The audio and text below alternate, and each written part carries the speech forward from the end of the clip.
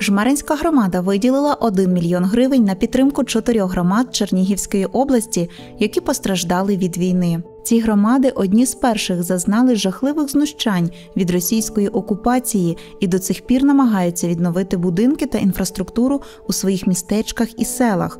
Про моторошні спогади і відео, як у перші дні нападу Росії на Україну люди намагалися зупинити ворога і яким було життя в окупації, розповідаємо у нашому сюжеті. 24 лютого о 4.30 я взнаю, що в нас відбувається вторгнення. Знали ми про вторгнення, як не дивно, не від служб, не від військових адміністрацій, а знали ми від е, сина мого першого заступника, який в Києві був, і Київ вже почали бомбардувати. Знаєте, воно зразу не сприймало, не сприйнялося, і тільки я поклала слухавку, телефонують уже з прикордонних сіл населених і Миколаївна, рідненька, в нас тут таке робиться, що нам робити? Тисячі одиниць техніки йдуть через нас, що йшли вони, знаєте, туди хвацько так, як от мені чомусь вони фашистів нагадували. Тисячі одиниць техніки, вони озброєні до зубів. Через всю громаду йдуть нашу. Йдуть, йдуть, йдуть. І коли ці телефонні дзвінки, і старости дзвонять прикордонні, от вони так почерпно передають. ж. І я собі думаю, Боже, коли в них закінчиться та техніка? Вона коли-небудь закінчиться. Думаєш, Господи, та скільки ж вони будуть їхати? І ми ж розуміємо, що вони йдуть вбивати нас. Вони ж не їдуть просто так на територію України. Очільниця Новгород-Сіверського Людмила Ткаченко розповідає, що війна навчила громаду самоорганізовуватися. За час окупації навчилися пекти хліб, молоти муку, виготовляти олію, а ще триматися міцно один за одного в найскладніших ситуаціях, щоб не брати від окупантів ні ліків, ні продукції, ні потрібних речей. Але й у такі моменти росіяни чинили нечувані звірства над мирним населенням. З найстрашнішого, що ми пережили, в нас російські війська вивозили людей. Гремяч це сама найпівнічніша точка нашої України, коли росіяни заїхали в село. Вони були впевнені, що їх що їх чекають, що їх там хочуть бачити, і привозять вже гуманітарну допомогу. А гуманітарній допомозі, що ви розуміли, це банка консерви, хлібина, те, чим ми і так забезпечували людей. І староста, коли прийшла і каже хлопці до росіян, що ми не будемо брати від вас гуманітарну допомогу. Їй 60 років накинули мішок на голову, посадили в БТР і вивезли невідомому напрямку. 19 днів вона пробула в Курському СІЗО. Перше, що вони зробили, вони її побрили на лисо зразу. Каже, стріляли над головою, били били прикладом по чотири рази на день, допитували її. Ну я вам хочу сказати, що вона реабілітацію проходить, але вона так і не повернулася в той свій колишній стан. Людмила Миколаївна акцентує, що війна загартувала багатьох і змусила відновлювати партизанські шляхи. А в біді кращими друзями виявилися мери сусідніх областей, які б допомагали з продуктами і ліками в окупації. 24 е, лютого, перший же день вторгнення, у нас е, були виставлені російські блокпости. Виїзд з міста був у нас заблокований. Танки були на всіх в'їздах, виїздах міста, тому ми були не виїзні був підірваний відразу міст, який нас сполучав з Сумською областю. Тому ми собі от відновили партизанські шляхи, дійсно партизанські, тому що цими шляхами Сумська Чернігівська область, вона лісами була сполучалася під час Другої світової війни. Бачите, як воно все історія от повторилася. І вже партизанськими тропами цими ми вже доправляли. Якось продукти, ну що могли. Українці так згуртувалися, до кого б я не звернулася, а це були мери Полтавської області, Хорола, Лохвиця, це були е, Кременчуцька міська рада. Я телефоную, кажу, хлопці, допоможіть. Просто немає ні солі, ну, ну нічого. Ми відрізані, нас отак от е, окупували все.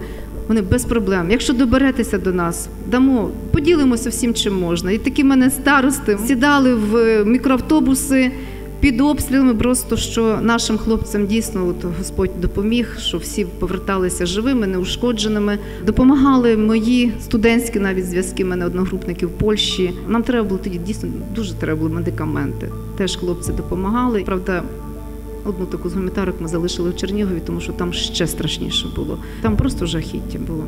За словами очільниці Новгород-Сіверська, рашисти поводили себе гірше фашистів, і їх важко назвати навіть просто людьми. Зараз ситуація у нас складна, що ми кожен день обстрілюємося. От кожен ранок у нас подарунки ну, від них кожен день.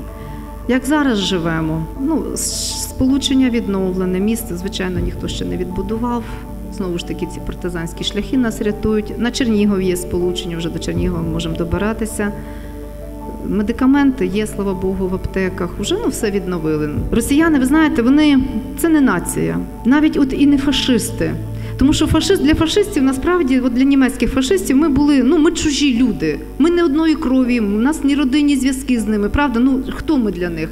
А тут, виходить, жили, от, родичалися, дружили по-сусідськи.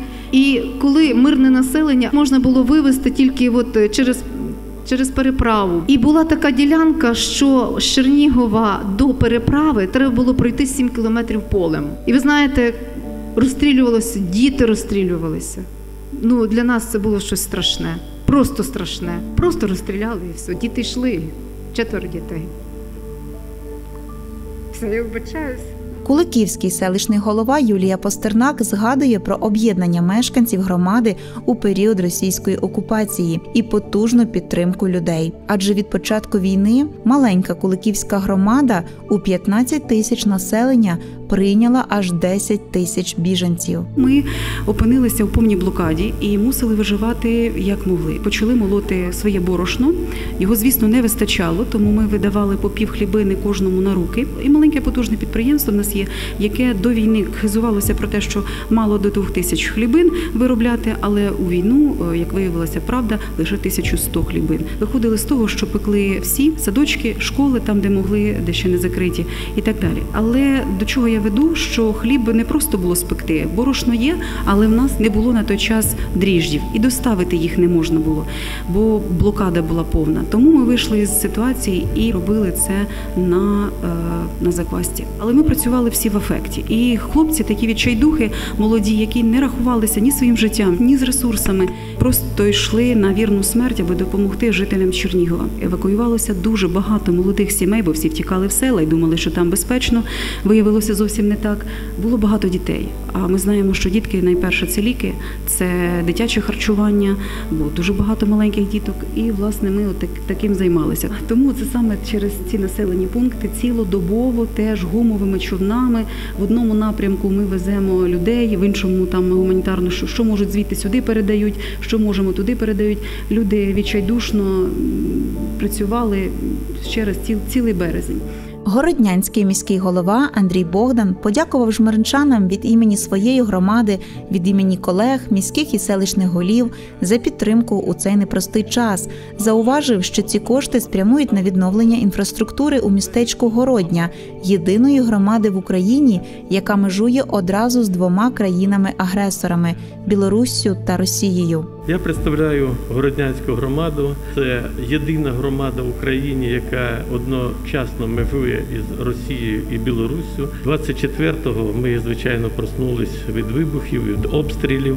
І Ми, мабуть, одна з єдиних громад, яка зразу були мости зорвані, були просто відрізані.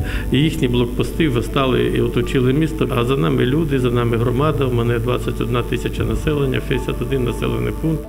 Зразу була паніка всіх. Паніка величезна, що робити. Всі прибігли до міського голови, і тут, звичайно, треба брати керівництво в свої руки і давати команди. Це ми взяли все під контроль. Ніхто не взяв ні допомоги у росіян, не було явного такого колаборантства, щоб їх зустрічали там з хлібом.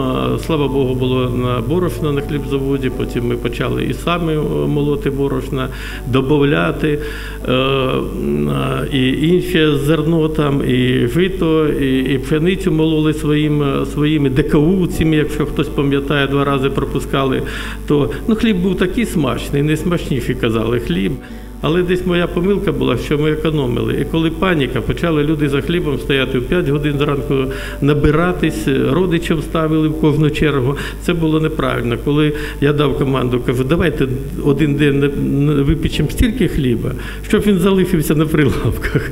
І це спрацювало. Коли ну, побачили, що хліб на прилавках, ажіотаж закінчився, все хватало. І з 5 тонн стало вже 3 тонни, вистачало для міста і для сіл громади. Росіяни намагалися домовитися з громадою і до останнього не могли зрозуміти, чому українці відмовляються від дружби з так званим братнім народом. Вони кричали, що ми один народ, що ми приїхали вас звільняти. Але нам повезло в тому, що це були спецслужби. Це не були ті, які унітази там тягали. То вони звичайно склоняли на співпрацю. Я категорично відмовився. Фізично не трогали.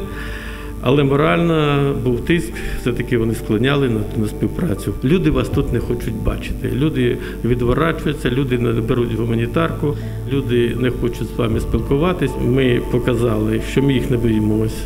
І вони в наших очах страху не побачили. Усе керівництво громади стояло чітко на своїх позиціях. Що ви сюди прийшли, що вам робити? Прапор у нас висів на міській раді, український. Ми не переможні. Звичайно, ми не переможні, тому що великі, сильні і бажаємо цього, щоб все-таки була Україна вільна, така як вона була, як була після 91-го року. Сьогодні громада оговтується від обстрілів, намагається відбудувати зруйновані будинки. Люди діляться їжею та необхідними речами із біженцями та один з одним. Влада міста купує дизельні установки, готують укриття і підвальні приміщення. Наші ЗСУ демонструють свою мужність і незламність. А ми віримо в них і в Україну. Але з такими сусідами треба бути готовим до всього. З відчаєм у словах мовив Андрій Богдан. Україна дуже різна сьогодні, але ми всі одного прагнемо, прагнемо перемоги. Все буде Україна. Депутати Жмеринської міської ради підтримали ініціативу щодо виділення 1 мільйону гривень для чотирьох громад Чернігівської області на відбудову територій від обстрілів російських окупантів. За рішення про виділення коштів представники депутатського корпусу проголосували під час чергової сесії міської ради. Міський голова Анатолій Кушнір акцентував, що в складних ситуаціях біду ділять порівну, і Жмеренка готова підставити дружнє плече взаємопідтримки у цей непростий час. Хтось більше постраждав, хтось менше. Наша територія, наша громада. Е, да, ми маємо втрати загибшими воїнів, ми маємо скалічених, ми маємо тих, хто в полоні і зникне безвісті. А є громади, які постраждали дуже і дуже великому обсязі. Ми не повинні бути байдужими до цих подій. Не може окремо зберегти нашу незалежність, нашу державу, збройні сили без підтримки громади. Не можуть справитися від тих зруйнувань, від тих жахіть, які пройшли на тих територіях, які постраждали внаслідок військових дій, які втратили багато населення, мирне населення, яке загинуло там, розрушена інфраструктура, розрушена економіка. І цей тягар потрібно, щоб розподілили кожен житель України, і навіть ті, хто виїхав за межі України. Для очільників громад Чернігівської області провели екскурсію по місту Жмеренка, ознайомили з культурною спадщиною міського історичного музею, історіями видатних особистостей і легендарних постатей рідного краю. Директорка музею Ганна Шеремета і співробітниця музею Світлана Мартинчик продемонстрували музейні експонати і колекції речей, які належали жмеринчанам ще від часів зародження міста. Науковий співробітник музею, історик і краєзнавець Олег Антонюк провів екскурсію рідним містом, познайомив чернігівчан з цікавими фактами з історії Жмеренки та розповів унікальні факти про історію будівництва залізничного вокзалу і зал і кімнат, що знаходяться у ньому. Гості робили фото на згадку, цікавилися деталями розвитку міста, обговорювали можливу співпрацю у подальшому. Адже тільки коли ми об'єднані і єдині, ми сильні і непереможні.